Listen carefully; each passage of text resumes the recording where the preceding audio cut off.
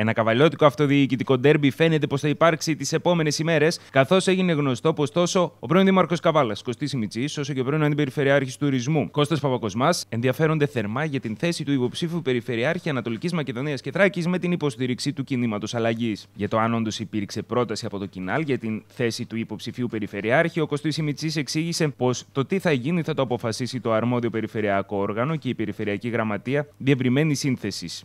Εδώ η Νομαρχιακή Επιτροπή έχει προκρίνει τρία ονόματα να στηρίξει ε, χωρίς απαραίτητα να υποβληθούν οι διαδικασίες των αιτήσεων. Έτσι, ε, έκρινε ότι τρεις άνθρωποι οι οποίοι έχουν εκδηλώσει ένα ενδιαφέρον και έχουν μια γνώση από την προϊστορία τους είναι κατάλληλοι για το αξίωμα του Περιφερειάρχη.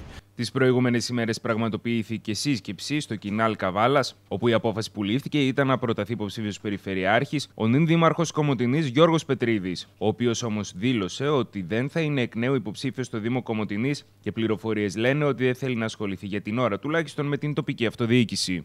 Ύστερα από δική μου πρόταση, πρώτος στη λίστα είναι ο Γιώργος Πετρίδης, ο Δήμαρχος Κομωτινής, που θεωρώ ότι αξίζει πραγματικά να γίνει περιφερειάρχης γιατί είναι και νεότερος από όλους μας. Από εκεί και πέρα είναι δεδομένο όμως ότι αυτός έχει εκδηλώσει την επιθυμία να μην συνεχίσει στην πολιτική σε πρώτη φάση και να αναπαυθεί για μερικά χρόνια. Υπάρχουν η δική μου και η υποψηφιότητα του Κώστα του Παπακοσμά, ε, όπως επίσης από την υπόλοιπη πλευρά της Ράκης, της περιφερειάς μας δηλαδή, ε, έχουν προταθεί Ω υποψήφοι ο κύριος Ντόλιος, ο Γιώργος Ντόλιος που έχει διατελέσει για πολλά χρόνια ε, δήμαρχος της Φέρες, νομάρχης στον Εύρο αλλά και βουλευτής και υφυπουργός εσωτερικών που είναι πραγματικά πολύ αξιόλογος άνθρωπος. Ο Γιώργος Πεταλωτής, συνάδελφος, δικηγόρος, πολύ καλός κι αυτός και ε, πριν από αυτούς είχε εκδηλώσει ενδιαφέρον και ο Κώστας Κατσιμίγας που ήταν εκτελεστικός γραμματέας στην περιφέρεια επί διοικήσεως Γιανακίδη. Με λίγα λόγια θέλω να πω το εξής. Οι προτάσεις που ακούγονται είναι πραγματικά αξιόλογες. Είναι προτάσεις νίκης. Ξεκαθαρίζοντας πώ προέκυψε το δικό του όνομα, ο Κώστας Παπαγωσμά τόνισε πως είναι θετικά διακείμενος και αυτός από την πλευρά του για την θέση του υποψηφίου Περιφερειάρχη και αναμένεται να κλείσει σύντομα ο κύκλος των συζητήσεων. Έχω καταθέσει την πρόθεσή μου να ηγηθώ ψηφοδελτίου του κινήματος αλλαγής με την στήριξή του για την περιφέρεια της Ανατολικής Μακεδονίας και Θράκης. Μετά από μια 25χρονη παρουσία στην αυτοδιοίκηση τόσο του πρώτου όσο και του δεύτερου βαθμού, πιστεύω ότι ήρθε η ώρα να διεκδικήσω κάτι που έχει σχέση με αυτό που πραγματικά αγαπώ και λατρεύω, την αυτοδιοίκηση και σε επίπεδο περιφερειακό.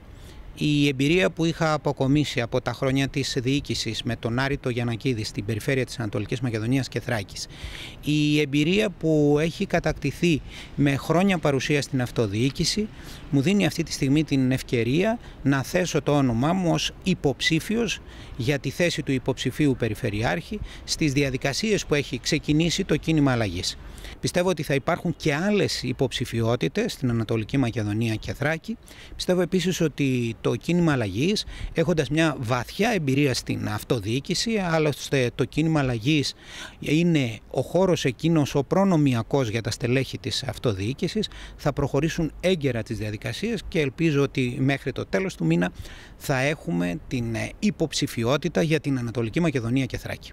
Επίσης, στην Αλεξανδρούπολη βρέθηκε το πρωί της Πέμπτης κλιμάκιο του κινήματος αλλαγής, αποτελούμενο από την βουλευτή Αττικής και υπεύθυνη εσωτερικών και προστασίας του πολίτη Εύη Χριστοφιλοπούλου και το μέλος της εκτελεστικής γραμματείας του κινήματος αλλαγής Δημήτρης Χατζησοκράτης. Σκοπός της επίσκεψης ήταν η συζήτηση με τα στελέχη και τα μέλη του Κινάλ στην περιφέρεια για την ανάδειξη υποψηφιωτήτων, πρωταρχικά για την περιφέρεια, αλλά και για τους Δήμους της χώρας. Και καθώς έχουμε μπει σε προεκλογική τροχιά, τα ονόματα και ενδεχόμενες υποψηφιότητες δίνουν και παίρνουν. Τις τελευταίες ημέρες ακούγονται όλο ένα και περισσότερο τα ονόματα του Γιώργου Ντόλου και του Γιώργου Πεταλωτή από την Αλεξανδρούπολη. Δεν θέλω αυτή τη στιγμή να σχολιάσω συγκεκριμένα ονόματα. Είπατε δύο, δύο ονόματα στελεχών καταξιωμένων που προέρχονται από το Πασόκ και που και σήμερα είναι στις τάξεις του κινήματος αλλαγής και του Πασόκ βεβαίως. Ε, μαζί με τις υποψηφιότητες αυτές έχουν ακουστεί και άλλες υποψηφιότητες και από το νομό της Καβάλας και από αλλού.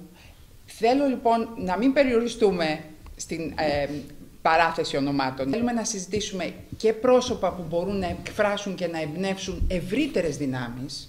Ακούσατε πριν λίγο την πρότασή μας για εθνική ενότητα σε επίπεδο εθνικών εκλογών, αλλά έχει εξίσου σημαντικ... μεγάλη σημασία για μας να συνευρεθούν δυνάμεις και στο χώρο της τοπικής αυτοδιοίκησης που θα κάνουν το διαφορετικό. Επίσης, όπως μετέδωσε πρώτο το ένα channel και η εκπομπή ένα live με τον Τάσο Παλαιστίδη το βράδυ της Τρίτης, για την περιφέρεια Ανατολικής Μακεδονίας και Θράκης φαίνεται πως έχει κλειδώσει η στήριξη της Νέας Δημοκρατίας στο πρόσωπο του νυν Περιφερειάρχη Χρήστου Μέτιου, με τις επίσημες ανακοινώσεις να αναμένονται από την Πυραιό εντός των επόμενων ημερών, κάτι που αναμένεται να βάλει τέλος στις φήμες που ήθελαν τον νυν Περιφερειάρχη να εκτοπίζεται από την κούρσα του χρήσματος ελαιών παραταξιακών τριβών.